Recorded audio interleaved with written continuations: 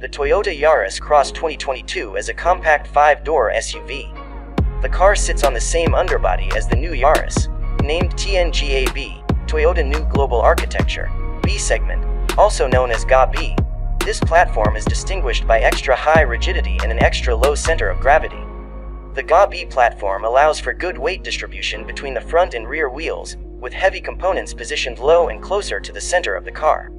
This reduces the leaning of the body, which you also notice when you drive the car.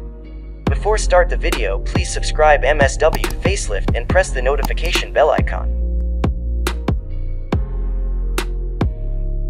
The design theme for the 2022 Toyota Yaris Cross was easy, fast, smart, defined with the goal of creating car that is an ideal partner for day-to-day -day activities.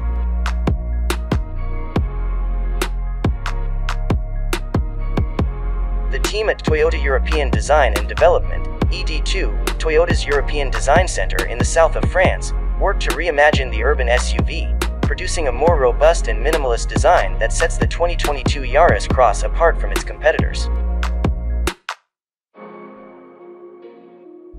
The lower body, with a high-set horizontal axis running from the nose to the rear lamps adds to the sense of a raised, powerful SUV stance.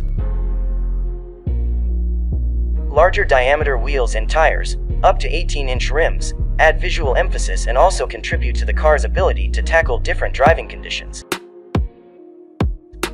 The condensed look is heightened by the rear wing's pronounced tire overhang.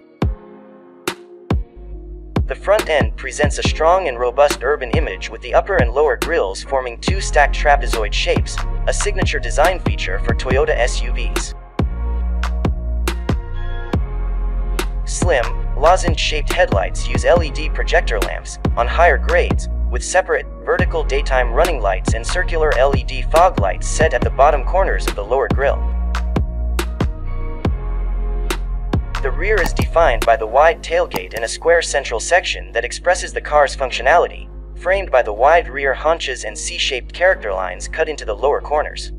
From mid-plus grade, all the rear lights use LED technology and offer sequential turn indicators. Thanks for watching and give your comments below.